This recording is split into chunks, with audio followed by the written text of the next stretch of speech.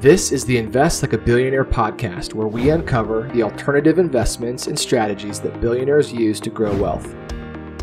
The tools and tactics you'll learn from this podcast will make you a better investor and help you build legacy wealth. Join us as we dive into the world of alternative investments, uncover strategies of the ultra wealthy, discuss economics, and interview successful investors. Welcome to the Invest Like a Billionaire podcast. I am your co host, Ben Fraser, joined by Bob Fraser. And today we're going to do a podcast about inflation. So, you've been hearing a lot about inflation. We've even talked about it in a past episode, breaking down what's driving inflation. And today we want to take it one step further. So, a lot of investors are seeing the headlines, um, hearing about inflation. But as investors, what do we do from here? And looking back historically, we have not had periods of high inflation for a long time, really since the 80s. And so it's kind of a new concept um, to a lot of investors. And so what we want to do is look at historical data. And what Bob has done here and is going to present is looking at macro um, time periods, 10 year time periods, um, and inflation numbers, and what asset classes have performed the best during those time periods. We're going to talk about a host of other things, including uh, gold. Uh, we recently had a great guest on. Um, who runs a gold royalty company, and where does that you know fit in a portfolio? Um, and we're going to talk about the national debt, and is this something to be concerned about, especially in a period of inflation? How does that impact it? So. Uh, those things a lot more we're going to be talking about right now. So let's jump in. First off, um, maybe a quick recap of inflation. How do we get here? And uh, is this going to be a persistent thing we're going to see for a period of time? And just kind of give us a real quick rundown of some of the things driving it. Yeah, sure. So, so we've seen pretty high inflation prints around seven and a half percent annualized inflation, which is fairly high. Certainly historically, that is quite high for America. It's driven, you know. Well, I, I think it's important to say first off, it is virtually an an entirely U.S. phenomenon. Mm-hmm. So we are seeing uh, about half these levels of inflation in Asia and pretty much none in, in inflation in Europe. So it's it's a U.S. phenomenon, and it's it's pretty much entirely stimulus driven. Um, it's uh, stimulus driven and COVID driven. Let me let me say that. So there's uh, several components to inflation, and there's some of these components are both uh, transitional, so they're they're transitory rather. Mm-hmm. So they're gonna they're gonna dissipate, but some are going to be a little bit more persistent. Um, the the transitional. So of the components, you have you have um, uh, the supply chain disruption, yep. and we think that's going to be that's going to be kind of solved, you know, this year, you know, and maybe into next year. Um, you have you have the one of the big components is demand. Um, so what's happened is because of the stimulus and other things, we have an extraordinarily healthy consumer. Now, a lot of times when I'm saying that, most people are not tracking with me right. when I say the consumers are incredibly finan- financially, fiscally healthy right now. And I, in this podcast, we're not going to go over that. But if if if that's a question mark to you, please go go look at our previous blog post. But you see um, record high uh, uh, net income per capita, record high uh, uh household net worth record low debt service payments as a percentage of disposable personal income, record low household financial obligations. Literally, it's historic. We have never seen a consumer this healthy before. And a lot of it has been due to transfer payments because of stimulus payments. Right. In, in the past, you know, easing, easy, the business cycle was controlled in the 80s and 90s through through basically the, mon- the, the, the, maintaining of interest rates. So you raise mm-hmm. interest rates to cool the economy, you you chill the economy by lowering interest rates. Well, what happened in 2009? They created a new a new methodology called monetizing the debt or or quantitative easing, where they actually purchased, they printed money, so to speak, uh, to purchase government debt. And in the latest installment, um, you know, in 2020, they actually did direct payments to individuals. So literally, what Ben Bernanke joked about in the 90s uh, about helicopter money, what would happen happen if we actually put money in people's pockets? Well, now we know what happens. they stand straight up and they start spending like crazy, and it's it's really exactly what you would expect. And there's something like six trillion dollars of cash sitting in savings accounts. Right excess now, right? savings, Excess six savings. trillion dollars, massive amounts, and as soon as confidence increases, you're going to see that flowing into the economy. Yeah, so, So- we have so- these two, two sides of both the, the supply side as well as the demand side. So supply side, there's the supply chain issues which we're seeing.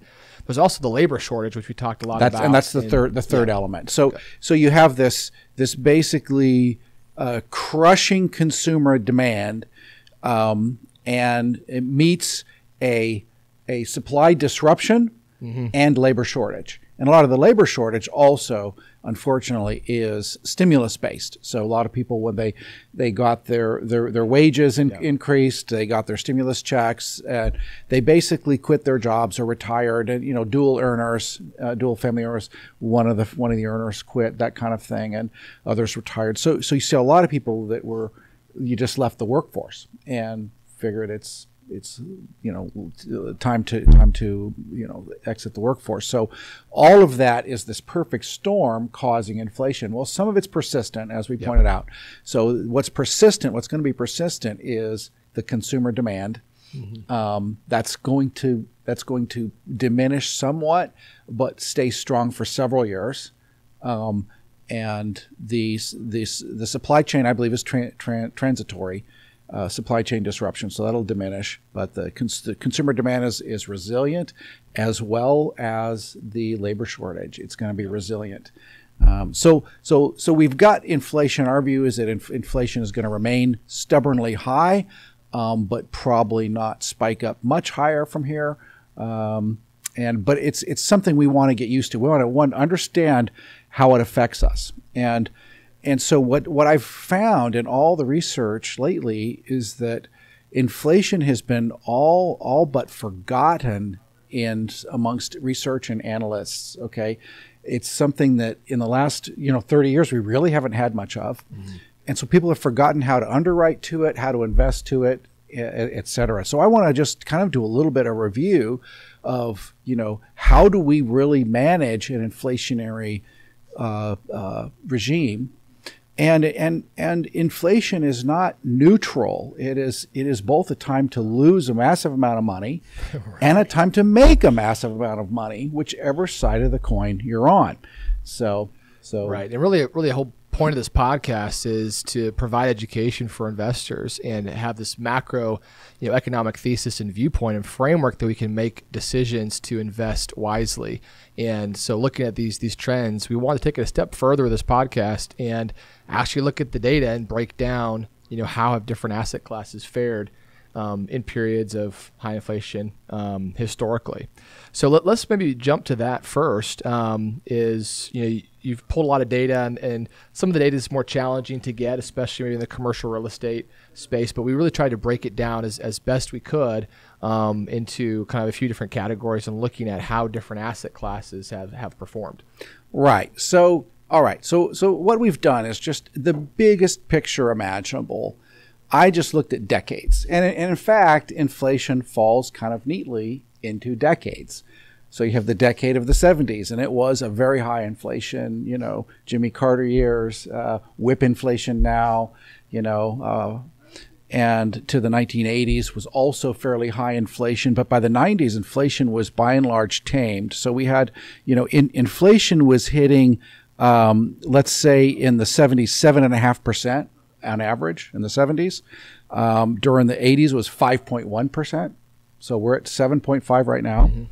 Um, then it dropped in the 90s to 2.9 percent, 2.5 percent, and then 1.8 percent. So it's kind of been trending in the you know, uh, right around the two range, a little Right. above the two range, and so we've forgotten how to do it. So, so, so it's super important to look back in the 80s and see what was what was trending well. But one of the things that we want to show is just first of all, you can see this this housing chart to show by decade. I just looked at okay, how did housing prices do relative to uh, inflation? you know, and housing was really one of the best ways to beat inflation. It beat every inflation every single decade. And so you can see from the chart, and it's not surprising. I think we've known that, but again, that's that's a really good way to beat inflation. And really, the concept of being inflation protected, you know, we don't want to, you know, overlook what that actually means. And so when we're looking at, you know, what are asset classes that are going to perform best in inflationary periods is the, the asset classes where you have the pricing power, where that inflation can be pushed through to the end user. And so residential housing and uh, single family housing, especially, uh, does very well in inflation uh, because you can increase your revenue in the form of higher rents, and that is generally expected and accepted by um, renters in those periods of higher inflation. Right. And by doing that, you're actually um, increasing your net op- operating income and uh, can keep up or even beat inflation. Right, and you know we, we can we can go to that that chart. Um, what's what's interesting here is one of the best ways, as as Ben was just saying, one of the best ways as an investor to make money in inflation is to buy assets that have pricing power and that could be you know apple apple inc. you know which mm-hmm. they can raise the prices of their iphones. Just as an example um, it can also be your commercial real estate where you have pricing power. If as long as you can raise your rents or you can raise the prices of your product to keep pace with inflation then that asset is going to go up. And in fact during you know during the 1980s you know the stock market you know did well. And and um, and in fact you know, over the over the last 40 years, um, while it, while a dollar, if if if you could buy a cup of coffee for a dollar in 19 January 1st, 1980, 40 years later, that same cup of coffee costs you $3.30. So inflation went up, you know, basically 300%. But the stock market went up 83 times, 83x versus versus the cup of coffee which went up 3x. So just just FYI. But so so let's say you have uh, you know you have a dollar to spend, you or you have a cup of coffee to sell. A year later, that coffee costs a dollar seven today. Um, in today's, you know, it, right. at seven percent inflation. If you have a dollar of savings, that dollar a year later is worth ninety three cents. Okay, so because so so the so deflation works two ways. One, it increases the value of uh, of, of the cost of an asset, and and and it also uh, decreases the value of a dollar of uh, of cash. And so, one of the greatest ways to make money in an inflationary environment is actually to borrow money at fixed interest rates. Right. So so this is what our government knows with the national debt. So so just here's here's the actual numbers. At 7% inflation, and we're at 7.5 right now, but at 7% inflation, if I have a, a, $100 in the bank today, in 10 years, that $100 is worth $50. It drops 50% of its value, it's of its purchasing power. Mm-hmm. Okay, so uh, so the point, so I want to have as much of that as I possibly can, of other people's money, borrowed. So I pay them back with dollars that are worth a lot less, mm-hmm. right?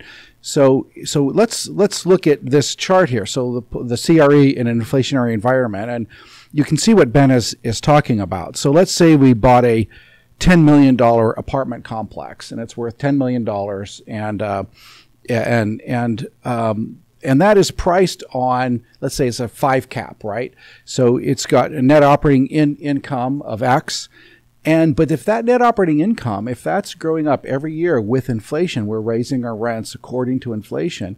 That net operating income is increasing seven percent per year per year. Divide by the cap rate, it means the value of that property is increasing. Yep.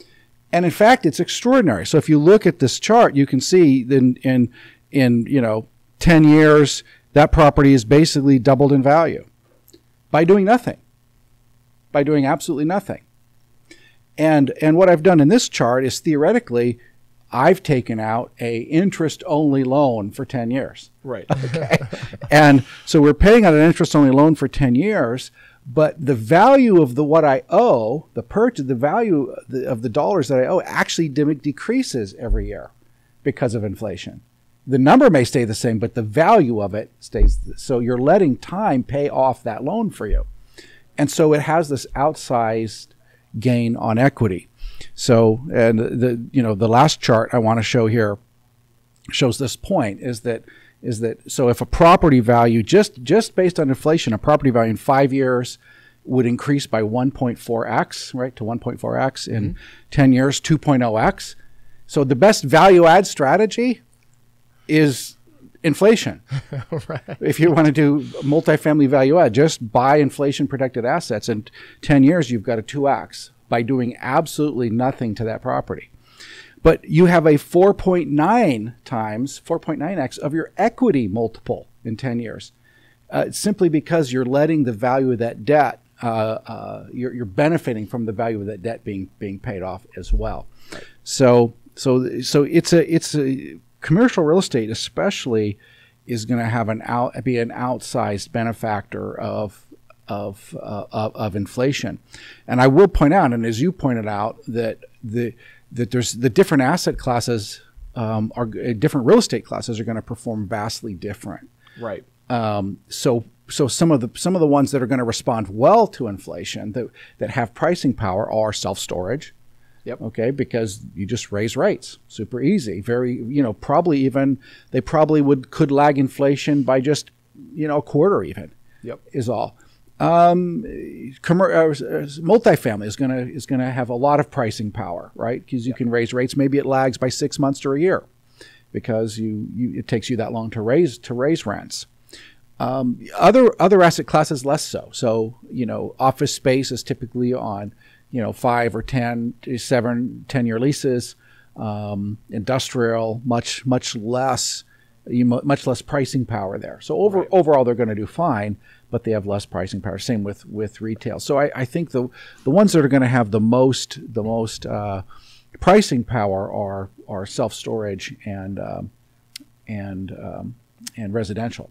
Yeah and, and, just to underscore that point, you know what what we've been talking about. Even you were just on a on a panel uh, last week at a conference, the best ever conference, discussing, you know, what's the future of real estate, you know, this year, and as far as what's the transaction volume going to be? It's going to be a big buy year. It's going to be a big big boom, and to your point here, if you can buy inflation protected real estate, which a lot of the real estate is, with fixed rate debt, you are going to massively be successful and have a very be set up for right good success. And, and we do want to make this point. It isn't it isn't just multifamily that's going to do well. It's right. particular multifamily.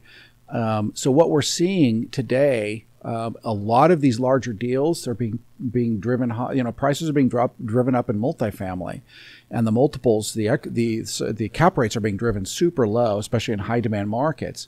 But in order to close these deals, a lot of these operators are are are using you know um, um, bridge financing. Bridge, bridge yeah. financing, which basically is is adjustable rate after three years. It has other terms, and this is not what you want to be doing in this environment.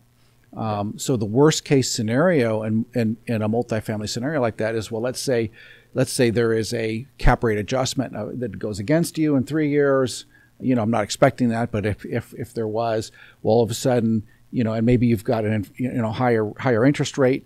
You put that higher risk interest rate on. Well, now it actually reduces your net operating in, income, or you know, um, uh, significantly, and and you actually maybe will fail your debt service ratio covenant, right? Right, and you could lose the property. Yeah. Um, but they're and they're doing it in order to close deals with less equity because the these bridge lenders allow, um, you know, higher leverage rates. higher leverage rates and so so it's it's not really something you want to be playing with. So you want to be very careful about the structuring of your deals, and the and if you as an LP as an investor, you want to be very you want to be make sure that your uh, your operators understand the risks of, of leverage and understand how this is going to play out in this inv- inflation environment. So it's not just getting in the right assets, but it's getting in the in the right assets that are structured well. Exactly. Yeah. So it's it's increasingly important. It's always important, but increasingly so now. Looking at deals you're investing in, what is the debt structure, and uh, to the extent you can invest in deals that are locking in interest rates now, those are going to be the ones that perform the best, that have the least amount of interest rate risk. Um, and the chance that interest rates do adjust and reset at higher rates down yeah. the road. And just to make the point, you know, it's the same in the stock market. The companies that have pricing power are going to do actually track just fine with inflation. The, the companies that do not have pricing power will not track the same. Yes. And so, you know, Procter and Gamble, uh, which you know produces Pampers uh, and to, and Crest toothpaste, I, I, think they do at least. You know, um, um, they're going to track just fine. Right. They'll raise will raise the prices. So. Um, c- companies that do not may not be able to raise prices. Uh, So, so and their stocks won't do as well. So it's the same thing. It it bifurcates the economy into those with pricing power and those without pricing power. Yeah. So super important. So you want to walk through some of the asset classes and the data you've you've yeah. So so gathered? this is this is super interesting. What about what about um, you know, I, I pointed out this the stock market was one of the outsized performers. So so if you had a dollar in January first, nineteen eighty, that dollar today, you know, what you could buy for that dollar would would cost you three dollars and thirty cents. Okay. Yes. Yeah, so inflation had increased by 3x to your by 3.3x yep. in 40 years. 3.3x. Okay. So how about gold? The gold, the ultimate in, inflation hedge. You know, how did gold do? Well, if you'd have bought an ounce of gold January 1st, 1980, it would have cost you about 500, 500 bucks. And if you had exited 40 years later at, uh, you know, at, um, you know, uh, 1231, 2019, that was about $1,500. So you would have made 3X on your money. So it, it basically, gold has not been, it's been, a, it's been a very disappointing asset class and it has not even kept pace with inflation. So, you know, talking about the gold as a, as a inflation hedge, you know, it it's it sounds great, but it really has not been reality. It has not been a great inflation hedge. Um, now, a lot of people are, may may take issue with that and say, well, let's look at the 70s when we had very high inflation, but it's a little bit unfair because because uh, gold began the 1970s pegged to the dollar at $35 an ounce, and so when it got unpegged you know, it was then free floating right. for the first time in, in history. So yeah, it shot up, but that's not going to be repeated. It's not, and it's not. You can't really measure that as an inflation kind of me, uh, kind of metric. Right. So a, a lot of investors, you know, and, and, us included, you know, up until you know really several years ago, we're looking at the data again. You know, the assumption is that gold is the ultimate hedge um, against one volatility and two against inflation, right? Because it's viewed as an alternative currency. So if we're debasing the value of the dollar, then the gold will you know increase correspondingly, and um, you know especially in the real estate world, there's a lot of investors where they just believe gold is you know an equivalent asset class as far as you know value and um, returns that you can get. And you, know, used to kind of be in that camp, you know, in the Austrian School of Economics, where kind of the hard money um, school of thought, where um, you know as you increase the money supply, you know you can expect hyperinflation, and, and gold is going to uh, help prevent um, the erosion of your your value of your dollar. And so, talk a little bit about kind of maybe your viewpoints and how they they've changed over time. Right. Yeah, I was what you what you would call the Aust- of the Austrian school, the hard money school of economics. Um, really until about 10 years ago and when I when I saw what happened in 2009 when the Fed began monetizing the, the, the, the, debt by buying treasury bonds and buying mortgage debt. And I immediately thought, like pretty much all the hard money guys, that this was this meant the end and you see they're going to see the dollar collapse and you're going to see you know hyperinflation, and it didn't happen.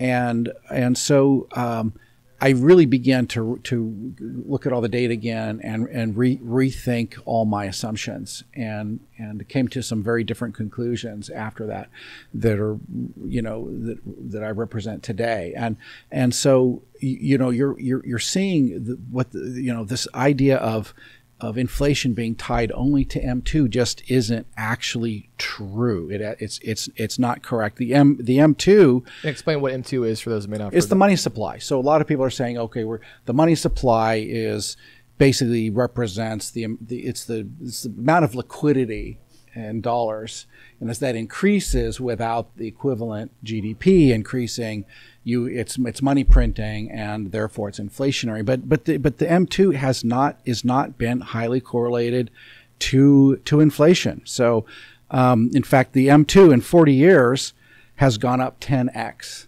10x. Inflation has gone up 3 3.3x yeah. in 40 years. So you know, so um, all this money printing has not resulted in high inflation. Right. Um, it has not. By the way, the, and then there's there's the argument that the dollar is going to be just be is going to be you know it's going to fail. The dollar is going to fail because of the money printing. Again, you see this in Argentina. They they print money and it destroys the value of the Argentine currency. But we're not Argentina. So 40 years ago, the dollar in the dollar is is measured by what's called the dollar index, which is the value of the U.S. dollar relative to a basket of foreign currencies, right? Um, and that dollar index 40 years ago was 85. The value of the dollar index 40 years later was 96. It went up. It went up. The dollar increased in value uh, by 1.2x during this. While while the value of the dollar in fact went down by 3.3, right? So so the point is the dollar index, or in other words, the dollar's value relative to other currencies, is not as super correlated to to um, uh, inflation and and even even money printing. Right. Um, so, and that makes sense because guess what? Everybody else is printing money too. So it's all relative. It, it, it's all relative. So, t- talk a little bit about, and this is you know more of an aside, and we'll talk about this in future podcasts. But a lot of uh, you know investors are concerned that if the dollar loses its status as the world reserve currency, well, that kind of changes the conversation, right? Because you know the if, if, it, if the dollar loses its status, and that is pretty impactful too. Um, and, and, that's that's that's kind of I just it's hard to take that seriously, to be right. honest. And and I'll, I'll tell you the people that are propounding that view are people who are primarily invested in other countries. Right. Okay. as their as their main their main bet on the future. Okay. Right. And they'll you know to be unnamed or maybe you should name them, but but uh, the, the dollar is reserve reserve status is not in any under any threat whatsoever. Yeah. So a, I believe it's 87% of global trade today is in U.S. dollars. 87%. Um, you know, and the idea, and most the most people are saying the ascendant currency, of course, is the Chinese currency. But I remember back in the in the 80s, the most ascendant currency was the was the Japanese yen, and everybody believed we were going to be speaking Japanese, and right. we were going to all be transacting in yen, and it didn't happen. Um, and the idea that you're that you are going to instead go into your bank around the corner and deposit your money in Chinese yuan, you know, is ridiculous. This is a police state without democracy, under the control of a communist government, that without human rights, and even the even you know that's really ridiculous. They are not going to be the global financial plumbing. They're simply not. Right. They're not ready for that. It's not going to happen in the next 10 years or the next 20 or the next 30. It's not going to happen. Yeah. What what is going to replace the the dollar? Um, there's really nothing that could even come close. Europe is possible, but the but the, the, the euro has structural problems as well. Um, they are more uh, of a hard money. Uh, they have hard, more of a hard money stance than than America does. They have less ability to print currency than America has. Um, so, if, for example, all all of the all of the member countries in Europe can can um, can uh, borrow money in euros, but they have no authority to print money. Right. And that's when you go broke, because when you borrow money in a currency you can't print. America, we we can we both borrow dollars and print dollars. So, um, you know, and, and let me make this point too about about inflation. One of the things that inflation does, as I made the point, it inflation is a massive transfer of wealth from savers to borrowers. Mm-hmm. Massive transfer of wealth from savers to borrowers. So, the one of the ways to get ahead is to be a big borrower. Okay, and that goes against some people's ethos. Well, you know, that is the way to get ahead. Well, who is the biggest borrower? Federal government. The federal government. And they benefit massively. So if I said a dollar in your bank account in 10 years is worth 50 cents, well, it works for the federal government as, uh, too. What they owe, the $24 trillion they owe, in 10 years will, will, will be worth, you know, the buying power of that is half what it is today. So the taxes will go up, will, will be double by then just because of inflation right. alone. And the value of that debt is unchanged if it is. And so, so in, in fact, most countries, you know, having debt to G, high debt to GDP ratios is quite often, uh, quite common, and de- but default amongst um, con- countries is not common. And the reason is they simply can pay their debt off through inflation. And that's exactly what's happened. So America had a, a debt to GDP ratio right around 100 after World War II because mm-hmm. of all the borrowing. And and guess what? We didn't default. It, in fact, that debt, while it never diminished, it simply as a percentage of the GDP, it massively diminished. Right. So so so GDP is the gross domestic product. It's it's the, the the productivity of every single person times the population, right? And so GDP is going to increase with inflation. Yeah, especially when seventy percent of it is from consumer spending, and there's six yeah. trillion dollars. And yeah, but but even so, the point is, if if there's pricing power for that, Apple costs costs you know seven percent more. That iPhone costs seven percent more than it did last year. Well, that increases the GDP by that much. So as this pricing power works through the system, it also benefits GDP. So you see higher GDP growth as well. Yeah. And so the debt to GDP ratio, which is the most relevant kind of statistic, actually is diminished. So that's all kind of hyper technical. I, I, hope that's not over your heads, but but you know it's I, I, it's the the point I think you should walk away with here is that one debt benefits or uh, high inflation benefits debtors, yeah. and and real estate as is perfect for that because it allows us to be large large debt holders as yep. long as we have you know uh, fixed rate debt and um, uh, and then not to fear the collapse of the dollar, not not to overinvest in gold, yep. not to worry about the M2 money supply, and um, and really, I mean, the sentiment from that conference we were at, the best ever conference, hearing from several you know big name economists and many others, is that they really see a runway of at least you know three to five years um, where the economy is going to remain strong um, and the consumer being as healthy as they are is really the foundational you know, underpinnings of that to drive GDP forward. And right. so, you know, again, you know, there's there's some trepidation and, and fear with uh, you know external factors going on in the market, but we just believe it's a very good time to be backing up the truck, buying good assets with with good debt terms, and um, you know using all these kind of pieces to our advantage um, as an inflationary environment.